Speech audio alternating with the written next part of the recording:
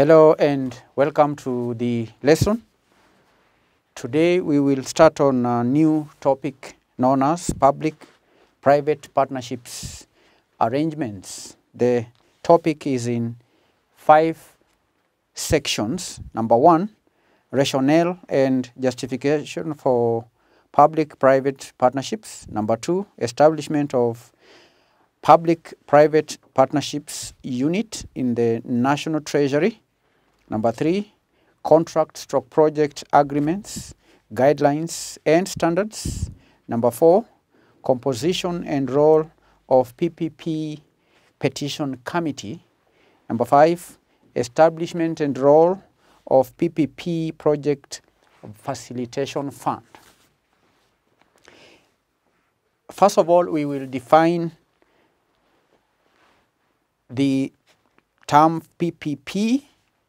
Then in this first lesson, we will uh, study the rationale and justification of PPPs. Now, PPP,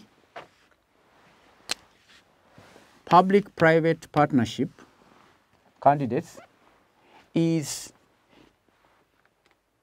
a medium to long-term relationship between the public and private sectors.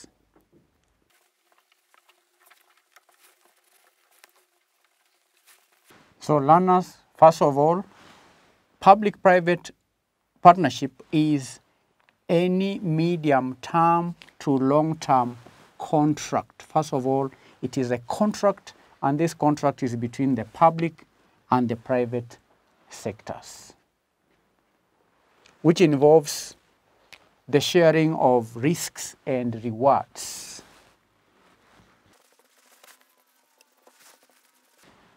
It is a contract between the publics and the private sectors involving sharing of risks and rewards of multi-sector skills.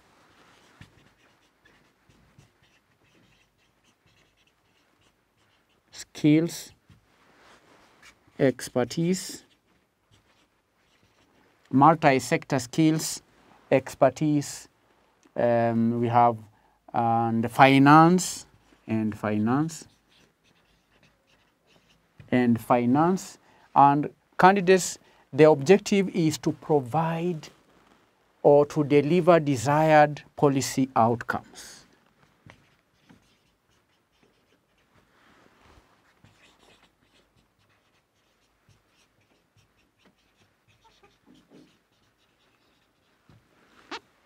To do what?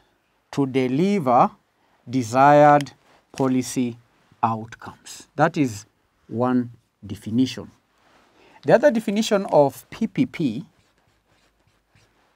PPP can also be defined as a long-term contract between the private sector or private party and a government party or government entity for providing public asset or service. I repeat, public-private partnership is a long-term contract.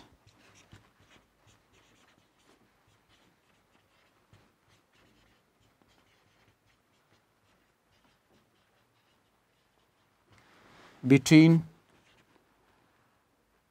a private party and a government entity. It is a long-term contract. Still here the word is common. A long-term contract between a private party and a government entity. And why should a private party and government entity have an agreement? The purpose is to deliver or to provide a public asset or service. For providing a public asset, contract for providing a public asset or service. Public asset or service.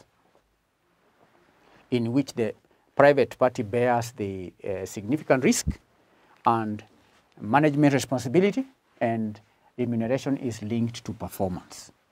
So we all know that uh, it is the role of the government to provide public assets and services. But there are times when the government may choose to contract a private party, okay, to provide this public asset or public uh, service, then in return, the government compensates the private party as, as the private party bears all the risks and management responsibility of providing the public asset or service. Do you understand? Public-private partnership. It is a long-term contract between a private party and a government entity. This government entity could be the national government, the county government, the uh, government department, uh, ministry, and so on. Private party could be a, a, a, a private company, a limited company, and so on. So that's the meaning of public-private partnership. We are now going to study the rationale. The rationale for PPPs. Rationale for PPPs.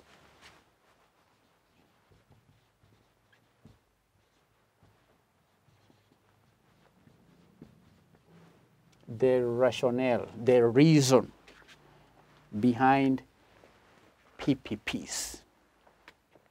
Now, one reason could be budgetary budgetary reasons. Budgetary reasons. Now, in traditional procurement method for infrastructure assets, the government is required to meet the cost of constructing the asset at the time of construction. And in PPP projects, construction is funded by a private sector either through debt funding alone or more usually a mixture of debt and equity funding. So it is for budgetary reasons that um, uh, the government may opt uh, to, to, to, to provide public uh, assets or public services through uh, public-private partnerships. Another rationale is efficiency. Efficiency. The private sector is often considered to provide greater levels of expertise and efficiency when constructing and running infrastructure projects than the public sector. And the reasons for increased efficiency include greater innovation, a commercial approach to proven uh, to problem solving. It could be better uh, governance. It could be improved competition and efficient management. So that is another reason why government would opt for PPPs. PPPs, um, the public, uh, the private sector is uh, more, in practice, more efficient than government entities in providing infrastructure projects. Three, value for money. Value for money. Now, PPPs often uh, uh, offer better value for money than more traditional forms of procurement for various reasons. For example, in PPPs, risks are efficiently allocated to the party most able to manage them. Another reason for value for money is um, the process by which PPP projects are tendered encourages competition between bidders, bidders, and reduction in overall cost. There is competition in the uh, uh, bidding process. Another reason for value for money could be uh, having to specify the, the service requirement in details, right? forces the public sector to assess thoroughly the, the service needs. There's also the issue to do with the payment mechanism, which is predicted on the basis that the public sector only pays for the services applied to the required standard and therefore ensuring uh, the agreed levels of service and maintenance throughout the term of the contract. You may also have another reason being that the assets are more intensively exploited. For example, additional revenues which are shared between the uh, public and, and, and, and, the private sector can uh, result from shared use of facilities and the sale of assets that could be redundant. So value for money is another rationale for PPPs, where the government um, enters into an agreement with the private sector to offer uh, uh, public goods and public services, the, the PPPs offer value for money because of the reasons that I have given. There are also social and economic reasons.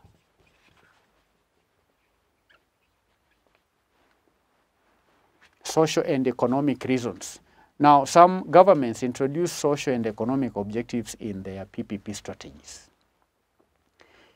Okay? In, and um, uh, the, the, the, the, the term uh, that is normally referred to as the pro-poor PPPs, the pro-poor PPPs have been used to demonstrate the capability of the model to address the needs of the socially and economically disadvantaged. But the challenge, however, is to ensure that such uh, a group can afford to pay for the services from PPP projects. So there are some social and economic reasons behind PPPs. Five, sustainability, ability, development, reasons. Sustainability, development, reasons. Now, an emerging trend in PC, PPPs is the ability to challenge sustainable development issues posed by climate change. And PPPs through its package of assets, uh, finance, risk transfer, technology, uh, management skills and efficiency offer a useful tool in addressing the challenges of climate change. So sustainability development are uh, reasons could also be the rationale, uh, rationale uh, for, uh, for PPPs. So we said there are budgetary reasons, efficiency, value for money, social and economic reasons, sustainability development. So these are reasons for PPPs. Then let's study the justification justification for PPPs. Justification. The first point is that um, is that on relieving pressure on government's budgetary requirements.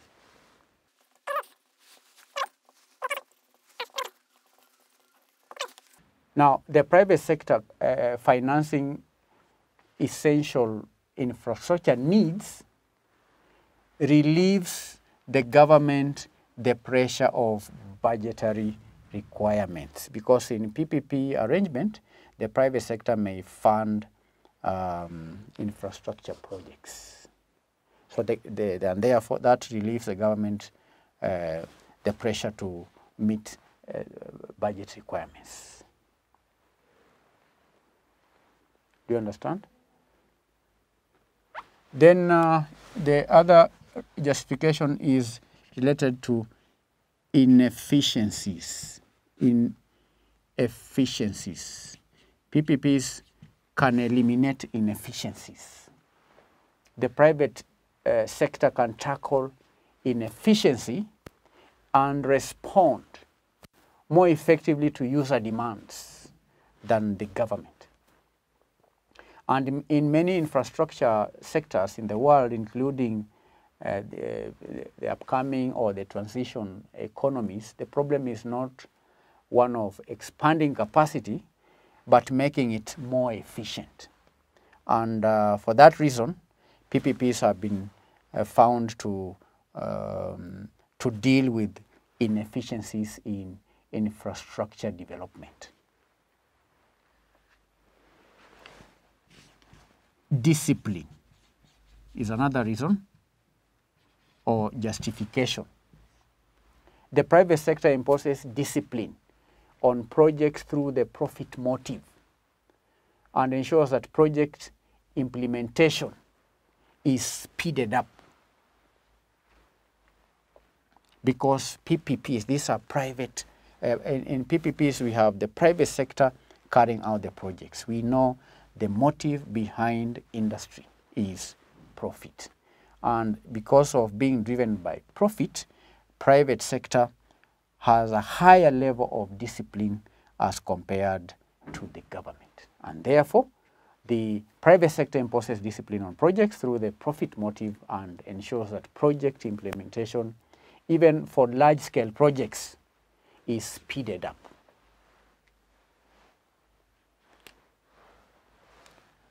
Another point or justification is that the project finance structure is particularly suited to the environment found in some transition economies, where risks and uncertainties, both economic and political, are much higher. And this structure, the, uh, the project finance structure, mitigates risk amongst many participants, mitigates risks among many participants. Mitigates risk among many participants through the employment of various financial instruments such as escrow accounts or, or syndicated credit facility. Syndicated credit facility facilities. So these are justification for PPPs. Justification for PPPs. Now that will mark the end of the lesson where we defined, began by defining the term public-private partnership and we said that public-private partnership is a long-term contract between a private party and a government entity for providing a public asset or service. We went further to explain or discuss the rationale behind PPPs. We gave budgetary reasons, efficiency, value for money. PPPs deliver value for money. There are also social and economic reasons and sustainability development reasons. In ending, We've uh, discussed the justification for public-private partnerships. Uh, the first point is in relation to uh, budgetary uh, requirements. PPPs uh, relieve government the pressure of budgetary requirements. There is also the issue on inefficiencies. Inefficiency. We say that the private sector can tackle inefficiencies and respond more effectively user demands compared this uh, the private sector compared to, to government entities. Then uh, uh, the private sector, uh, because of um, the profit motive, because of the profit motive, we've seen that the private sector ensures that project implementation is done faster. Project implementation is speeded up then lastly, there is the issue on mitigation of risks among many participants through escrow accounts financial instruments, and through employment of uh, syndicated credit facilities and so on. So that will mark the end of the lesson. I can give you one question uh, related to what we have learned. It may not be exactly, but I want you to uh, I want you to use what the knowledge you have uh, gained today to outline